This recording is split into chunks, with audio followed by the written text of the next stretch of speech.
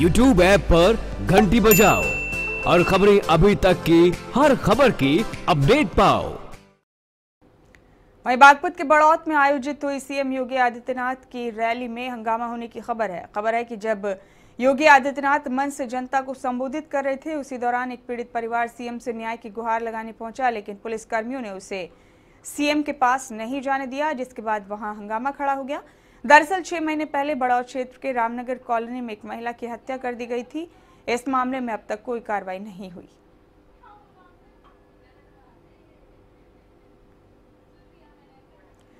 और आपको बता दें कि यूपी सरकार ने प्रदेश के विकास प्राधिकरणों में सातवां वेतनमान लागू करने के प्रस्ताव को हरी झंडी दे दी है। लखनऊ के लोक भवन में मुख्यमंत्री योगी आदित्यनाथ की अध्यक्षता में कैबिनेट की बैठक हुई। प्रदेश सरकार ने कैबिनेट बैठक में चौदह प्रस्तावों पर मुहर लगाई है।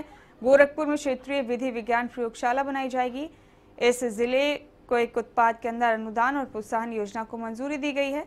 उत्तर प्रदेश राज्य विश्वविद्यालय से जुड़े महाविद्यालयों में प्राचार्यों की योग्यता में संशोधन के साथ ही बागपत में केंद्रीय विद्यालय स्थापित करने के लिए निःशुल्क ज़मीन केंद्र सरकार के पक्ष में हस्तांतरित करने के प्रस्ताव को भी मंजूरी दे दी गई है।